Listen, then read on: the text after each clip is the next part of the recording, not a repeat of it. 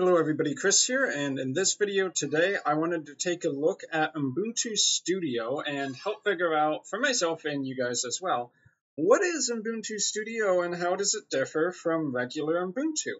So I was browsing, uh, what's it called, DistroWatch the other day, and I saw Ubuntu Studio 17.04 got released, and I was like, well, Ubuntu has a new version, but now all of a sudden they have this Studio tag behind it. And actually, the studio uh, variant of Ubuntu has been there for a while. Um, basically, built up as an extra set of additions to the base Ubuntu. But what is the focus of all of this? Well, um, first off, I'll mention it is based on the XFCE desktop out of the box. That's the only version I saw them having on the download site.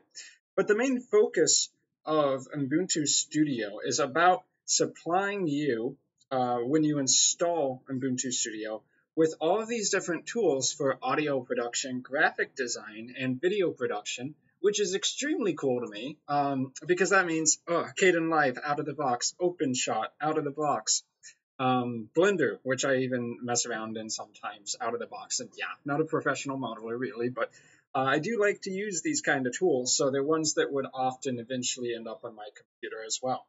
Um, and then you have other tools for graphic design, uh, Krita down here, and uh, well, GIMP, of course. I think GIMP's usually included in most versions of uh, Linux these days because GIMP is freaking awesome. Um, but maybe the most profound is going to be audio production. So you have uh, a bunch of instruments installed, effects, uh, MIDI instruments as well. Um, and then the tool for actually editing uh, music on your computer, LMMS. I've uh, played around in it a little bit before. Um, it's kind of comparable to like FL Studio if you were using Windows or that kind of thing. Um, Audacity as well, very important tool if you're doing uh, video production or audio production, being able to edit some of your soundtracks, remove some of the background noise, change the pitch, blah, blah, blah.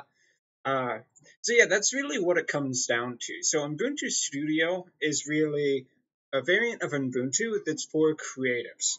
Um, now, I, I, don't think that necessarily goes all the way to uh, like web designers, but uh, graphic designers, video production, audio production, those are the three main categories there. So for someone like me who's making videos all the time, I do think that uh, Ubuntu Studio would be a cool version for me to use uh, quite frequently um, simply because it's going to have a lot of those tools out of the box.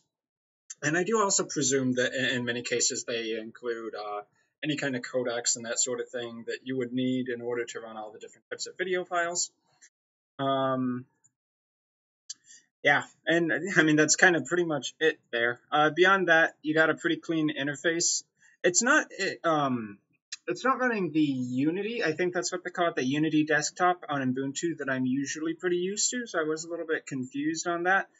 Uh, I bet that you can go ahead and uh, grab that as an extra, though. I mean, usually it's not that complicated to install other desktops like GNOME uh, to your computer.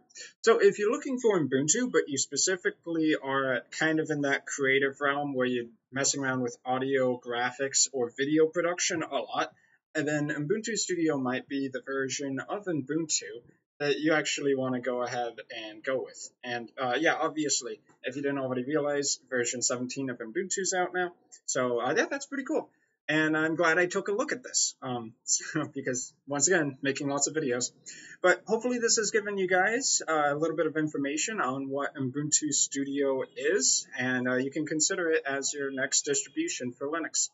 So, uh, without further ado, I've been Chris. Thanks for watching, and I'll see you guys in my future video content.